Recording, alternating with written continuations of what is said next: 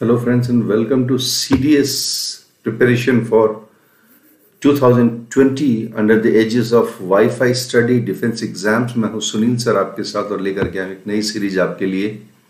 छोटी मोटी, बहुत लंबी चौड़ी बात नहीं करूँगा, सिर्फ़ सिंपली इतना बताऊँगा आपको जहाँ से सुने। छोटा सेशन है, लेकिन इसमें बहुत सी ग्रामर आपको अभी अवेलेबल होने वाली है, जिससे आप बहुत सी चीज़ों का पता लगा सकते हैं। ठीक है? क्वेश्चन इससे पहले कि मैं लेकर चलूँ दोस्तों, मैं आपसे एक बात कहना चाहूँगा। प्लीज़ ध्यान देंगे वाईफाई स्टडी जो है wifi study defence wifi study डिफेंस एग्ज़ाम्स और वाईफाई स्टडी लाइव टेस्ट्स और दूसरा आपका wifi study live tests please ठीक है ना? लाइव टेस्ट्स इन दोनों चैनल को आप लाइक शेयर सब्सक्राइब करेंगे। प्लीज़ बहुत जल्दी जल्दी ताकि आपको नोटिफिकेशन मिलती रहे बेल आइकन को प्रेस करेंगे चैनल को सब्सक्राइब करेंगे और इवेंट को अपने यार दोस्तों के साथ में शेयर करेंगे। ठीक है? थैंक यू वेरी मच आइए चलते हैं। ठीक है? Question number one the housewife dash आप पहले आप देख लीजिए दोस्तों। आप थोड़ा सा एक बार इसको देख लीजिए, है ना? It will give us some time you know to discuss and to talk to you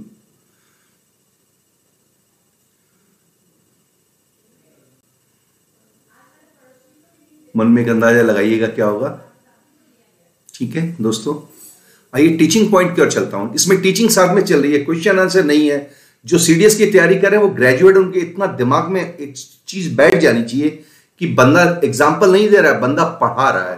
तो you should be proud of your scholar you know educator that he's been trying you know since long you know to take you into confidence and give you the teaching as well as you know the ramification which you called the practice round you know of the question answer the cakes burning cake जल रही थी and ran और भागी, कौन सी form में? Second form में. To switch off the oven oven को स्विच ऑफ़ करने के लिए भागी भागी. कौन से फॉर्म में? सेकंड फॉर्म में भागी है और केक जल रही है. तो केक जल रही है तो हाउस वाइफ को कैसे पता चला कि केक जल रही है कि वो भाग गई पास्ट टेंस में? तो वो भाग गई अगर पास्ट टेंस में तो उसने जो भी हरकत देखी है, वो भी पास्ट टेंस में होगी. स्मेल प्रेजेंट है स्मेल प्रेजेंट है स्मेलिंग बिना हेल्पिंग वर्ब के पार्टिसिपल जीरेंड या एग्जेक्टिवल पार्टिसिपल के मोड में आ रहा है वर्क के आईएनजी में। कोई मतलब नहीं है। आँख मीच के बोलेंगे आप, नंबर सी। वाइफ ने दौड़ना अगर पास्ट टेंस में किया है तो सूंघना भी जो है वो पास्ट टेंस में किया है। और सही जवाब आपका स्मेल्ट पास्ट टेंस में आएगा। ग्रामर हो गई ना देख लो दोस्तों टीचिंग के साथ आ गई ना? आपको 12 साल 13 साल आपने इंग्लिश पढ़ी है। पूरे साल भर इंग्लिश पढ़ी है। 12 साल में आपने 12 बार अगर 12 क्लास में अगर इंग्लिश पढ़ी है तो 144 बार पढ़ी है राइट वो पैटर्न गलत था कंपटीशन में वो पैटर्न नहीं चलेगा, क्योंकि वो सब्जेक्टिव इंग्लिश है। आपको क्या करना है दोस्तों? ऑब्जेक्टिव इंग्लिश पढ़नी है सुनील सर के साथ में, ठीक है? आइए, आगे चलते हैं। क्वेश्चन देख लीजिएगा ready an old legend king king Shriram lived in India एक प्राचीन कथा, सुन रहे हो आप? एक प्राचीन कथा के अनुसार, है ना, राजा श्रीराम जो है वो रहा करता था भारत में। शरम नाम का एक दक्षिण भारत में राजा हुआ करता था। प्राचीन एक लोक कथा या किंवदंती के अनुसार इन द इवेंट ऑफ़ का मतलब है, हो तो।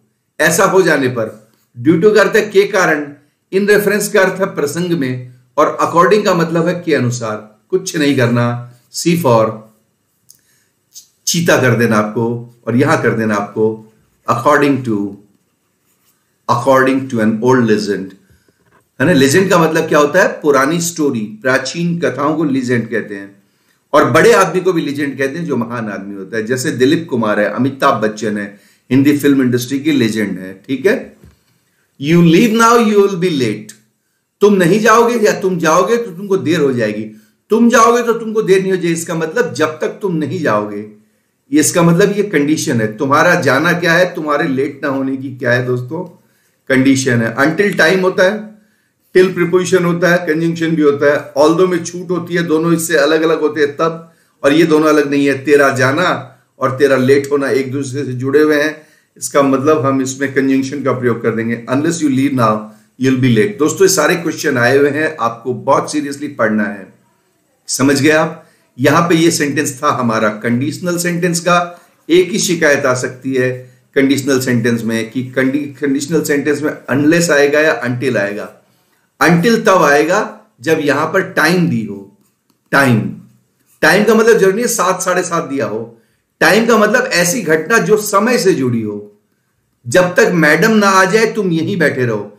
तब अंटिल आ जाएगा।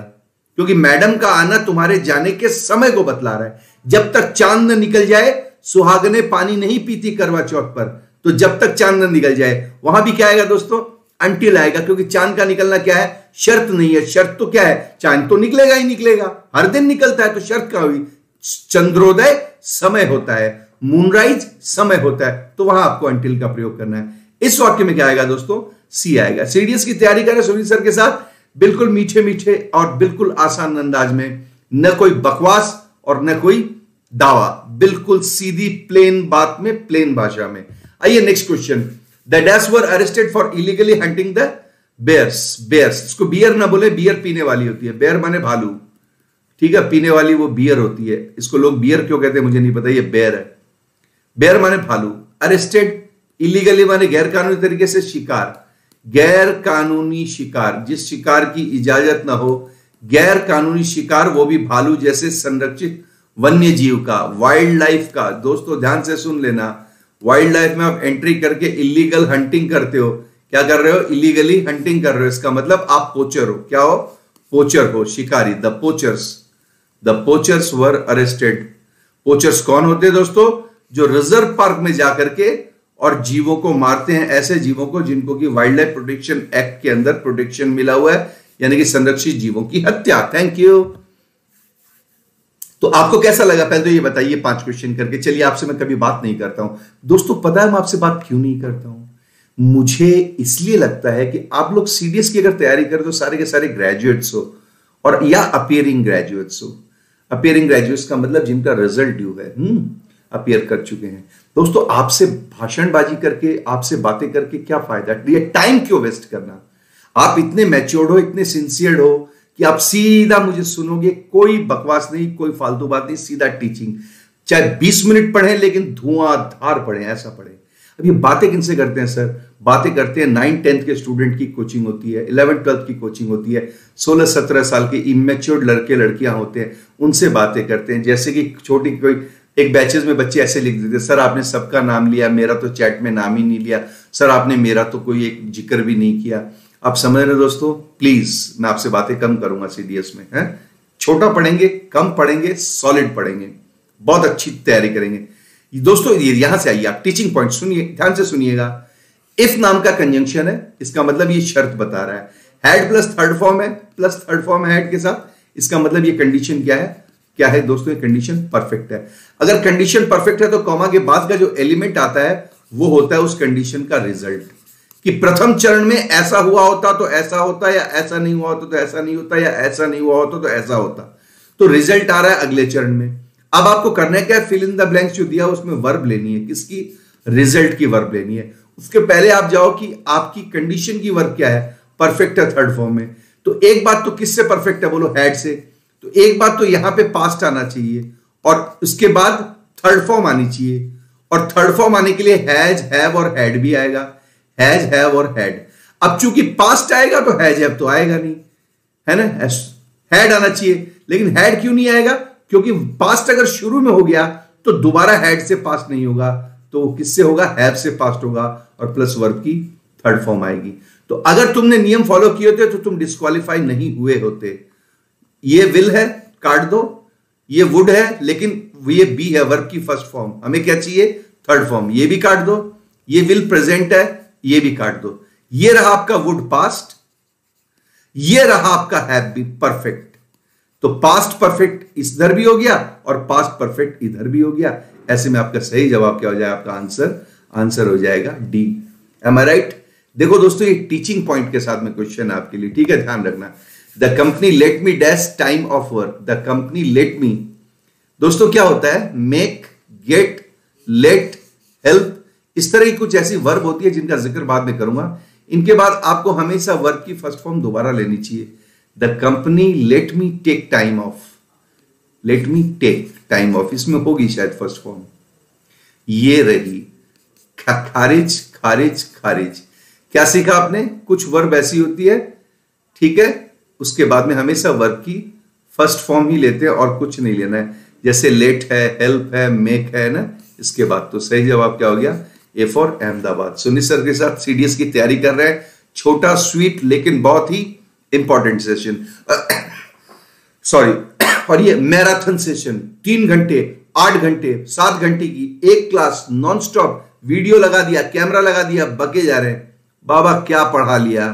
पढ़ने वाले आप जैसे लोग 20 मिनट में पढ़ लेंगे, पढ़ाने वाले हमारे जैसे लोग 15 मिनट में पढ़ा देंगे।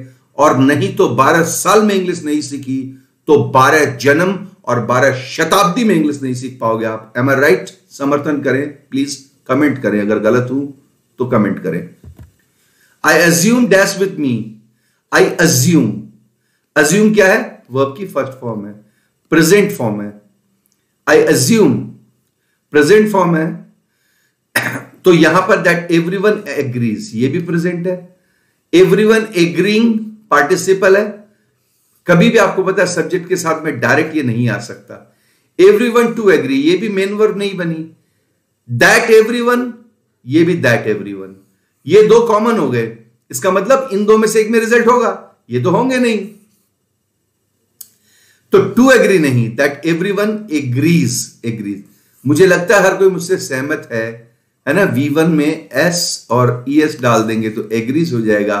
तो आंसर क्या हो जाएगा दोस्तों आपका? आंसर हो जाएगा आपका सॉरी बी क्या हो जाएगा आपका answer? B for Vrindavan. Am right Banke Bihari. That is B assume के साथ में आपको हमेशा फ़र्स्ट फॉर्म लेनी है। ठीक है? वो प्रेजेंट फॉर्म में, और अगर सिंगुलर है तो उसमें एस या ई एस ऐड कर देनी है। वो ऐसा रूल है, क्योंकि इंग्लिश में कुछ वर्ब अपने साथ में दूसरी वर्ब को एग्री करेगी तो उसी टाइम एंड टेंस मोड में जाएगी, जिस टाइम और टेंस मोड में जनरली वर्ब चली जाती है। एक क्वेश्चन में आइए, क्या होगा? द रेन फॉर ये आप कीजिए दोस्तों। प्लीज़ प्लीज़ मैं आपको टाइम कभी नहीं देता हूँ। मैंने आपको थर्टी सेकेंड्स दिए।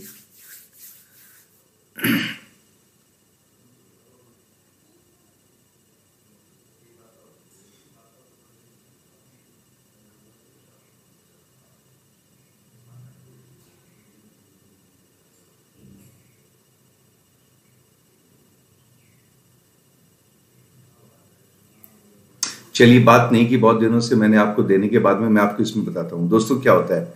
इस तरह, ये क्वेश्चन की, पहली बात तो क्या है? क्वेश्चन बहुत लॉन्ग है।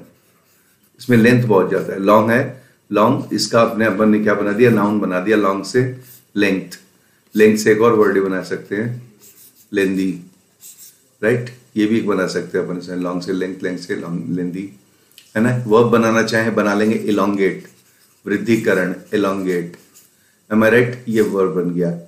और ज़्यादा इसका इन्फ्लेक्शन करना चाहते हैं डिग्री बदल देंगे लॉन्गर और ज़्यादा बनाना चाहते हैं, क्या बन गया? लॉन्गर और लंबा. और इससे एक नाउन बनाना चाहते हैं हैं? लॉन्जेविटी लॉन्जेविटी दीर्घायु या लंबाई. उम्र की लंबाई से जुड़ा हुआ होता है लॉन्जेविटी चलो खैर, काम की बात करते हैं. द रेन फॉरेस्ट वर्षावन. वेरी इंपॉर्टेंट बहुत महत्वपूर्ण है. If we do not want यदि हम नहीं चाहते फ्लोरा माने वनस्पति फौना माने जीव. फाउंड देयर टू बिकम कि वो हो जाए एक्सटिंक्ट माने विलुप्त। वर्षावन हमारे लिए बहुत ज़रूरी है तो हमें, हम ये नहीं चाहते कि वो विलुप्त हो जाए, इसलिए हमें वर्षावनों का क्या करना है? रिज़र्व तो पहले से सरकार कर देती है, नष्ट कर देने से क्या होगा? नष्ट कर देने से तो जीव वैसे ही विलुप्त हो जाएँगे, जबकि हम नहीं चाहते कि लुप्त हो जाए तो ऐसे में जस के तस बनाए भी नहीं रख सकते, क्योंकि जीवों की आबादी बढ़ती है। इसलिए उनको संरक्षण देना बहुत ज़रूरी है। सही जवाब है प्रिजर्विंग फॉरेस्ट। एक और वर्ड आ सकता है दोस्तों, अगर ये होता तो हम प्रिजर्विंग भी नहीं लेते। पहली प्राथमिकता में क्या लेते? कंजर्विंग फॉरेस्ट को सबसे ज़्यादा किस वर्ब से किया जाता है? कंजर्विंग वर्ब से किया जाता है। कंजर्व करना अपने आप में एक बहुत शानदार वर्ब है। लेकिन चूँकि यहाँ नहीं है कंजर्व तो उसका भाई ले लेंगे अपन प्रिजर्व आप बोलोगे रिज़र्व रिज़र्व गवर्नमेंट करती है कंजर्व जनता करती है। रिज़र्व गवर्नमेंट करती है पार्लियामेंट में कानून ला करके और कंजर्व या प्रिजर्व वहाँ के स्थानीय निवासी जो होते किसी देश के जो इनहेबिटेंट्स होते हैं, जो नेटिव्स होते हैं, उस ज़मीन के, उस लैंड के जो सिटीजन होते हैं कंट्री के, वो करते हैं। तो ये फ़र्क है दोस्तों, मैंने आपको समझा दिया। If I help him he dash दोस्तों अभी अभी करा के गया हूँ, पीछे आइए मेरे साथ। इफ़ ये देख रहे आप? इफ़ ठीक है? क्या लिखा मैंने? आप इफ़ के बाद में मैंने कहा कि अगर हैड के बाद में थर्ड फॉर्म वाला पैटर्न होता है तो दूसरे में भी पास्ट आएगा और हैव ज़रूर आएगा, कहीं ना कहीं और वर्क की थर्ड फॉर्म आएगी। एम आई राइट तो अगर उस पैटर्न को आपके लिए मैं सिखाऊं सेम पैटर्न को, उस वाले, इस वाले वाक्य में क्या कमी होगी बताइए आप? ये जो वाक्य है, इसमें मैं थोड़ा सा इंक चेंज करते हुए दिखाता हूँ आपको, देखिए। If I had if if से शुरू हुआ हैड और थर्ड फॉर्म है यहाँ पे, ये वर्ब की थर्ड फॉर्म है। पीछे कौन है दोस्तों? हैड प्लस वी थ्री है, इसका मतलब इफ़ से जुड़ी हुई जो होती है, वो क्या होती है? कंडीशन कंडीशन हमारी परफेक्ट टेंस में हेड प्लस थ्री में। तो जो रिज़ल्ट आएगा यहाँ, वो भी किसमें आएगा दोस्तों? वो भी किसमें आएगा? बोलिए, वो भी परफेक्ट में आएगा। एम आई राइट परफेक्ट में आएगा तो देखिए, ये तो कट गया। क्यों? क्योंकि ये विल है। और ये कटेगा? जी हाँ, ये भी कटेगा। क्यों? इसमें हैज़ हैव हैड नहीं है। ये ये हैव है और ये थर्ड फॉर्म तो है, लेकिन ओ हो हो, ये विल है। तो ये भी कट गया। तो अब आपको आए चाहे मत आए कुछ भी, आँख मीच करके सीडीएस टू क्लियर कीजिए और बोलिए, मेरा आंसर डी होगा। He would not have drowned he would not have drowned am I right वो डूबा नहीं होता। वो डूबा नहीं होता। ड्राउंड मीन्स डूबना होता है। ड्राउंड मीन्स किसी का डूब जाना होता है। Am I right when will you hand dash your assignment ये थोड़ा सा दिक्कत भरा क्वेश्चन होगा। ठीक है, क्या होगा? वेन विल यू तुम कब अपना असाइनमेंट असाइनमेंट क्या मतलब होता है काम। और काम अगर होता है और इसके साथ वेन आता है, यानी कि कब कब, तब इसका अर्थ क्या होगा? पूरा करोगे। भाई, और कुछ आ ही नहीं सकता ना। ऐसा थोड़ी है, काम की पूजा करोगे काम के छोकन लगाओगे, काम का रायता बनाओगे और काम को उसके बाद में पॉलिश करोगे जूते के साथ में। ऐसा तो हो नहीं सकता। जब काम है वेन माने कब तो उम्मीद क्या करेंगे? पूरा करेंगे। तो दोस्तों, एक प्रिपोजिशन आता है हेड इन। हेड के साथ जैसे ही आप कभी हेड इन बोलने की कोशिश करेंगे, हेड के साथ हेड इन बोलने का मतलब है टू फिनिश इसका अर्थ क्या है? टू फिनिश दूसरे शब्दों में इसका अर्थ क्या है? To complete when will you hand in your assignment am I right ठीक है? और ये आपका हो जाएगा सही जवाब इसमें। इसमें आंसर क्या निकल जाएगा? अगर आज सीडीएस की एग्ज़ाम होती तो आप जवाब क्या देते। दोस्तों, इसका जवाब होता थ्री तो ध्यान से देंगे मैं आपको थैंक यू बोलना चाहूँगा। दो चैनल है हमने। पहले भी आपसे वादा किया था। ठीक है, आपको कुछ चाहिए तो स्पेशल फरमाइश करें। अच्छा टॉपिक वाइज फरमाइश की लोगों ने कहा तो टॉपिक वाइज मैं पहले नहीं कराऊँगा। पहले कुछ दिन तक मैं नॉन स्टॉप क्या करवाऊँगा आपको पता है? पहले कुछ दिन नॉन स्टॉप में करवाऊँगा आपको। बिना टॉपिक के रेगुलर एक्सरसाइज ये क्या है? रेगुलर एक्सरसाइज है। नए नए मुद्दों पर आपको मैं रेगुलर एक्सरसाइज करवाऊँगा, लेकिन इससे पहले एक वादा लेना चाहता हूँ। टाइम मिले तो बाकी चैनल में कुछ अच्छे अच्छे स्लॉट्स है, वो देख लेना। और लाइक शेयर सब्सक्राइब कर दे आपकी मर्ज़ी। सीडीएस वाले ऐसे भी किसी के सगे नहीं होते हैं। क्यों? उनको पढ़ाई के अलावा कुछ दिखता ही नहीं है। बेचारे कब तो लाइक करे, बेचारे कब तो शेयर करे सब्सक्राइब करे। राइट लेकिन यकीन मानिए नेशनल डिफेंस एकेडमी में ऑफिसर्स ट्रेनिंग एकेडमी चेन्नई में, है ना? ये देहरादून से लेकर के हैदराबाद तक आपके, और एजिमाला से लेकर के आपके यकीन मानिए कोचिंग तक। बहुत बहुत ज़्यादा मेरे सिलेक्शन है। डिफेंस एग्ज़ाम में बहुत से सितारे और वर्दी यू नो हमने सजाई अपनी मेहनत से। आपका भी भला होगा। Thank you very much like share subscribe करेंगे और बताएँगे कि ये सेशन आपको इवेंट आपको कैसा लगा। मैं एनडीए में सॉरी सीडीएस में शॉर्ट एंड स्वीट सेशन चलाऊँगा। आपको दो चीज़ और बता दू। अब आपके लिए मैं दो पॉइंट पर्टिकुलर नेक्स्ट वीक में चलेंगे मेरे रेगुलर वो कौन से हैं? एक तो है आपका, जो अपन कहते हैं इंग्लिश में सेंटेंस इंप्रूवमेंट जहाँ अंडरलाइन पार्ट को इंप्रूव करना है, और दूसरा है आपका कौन सा?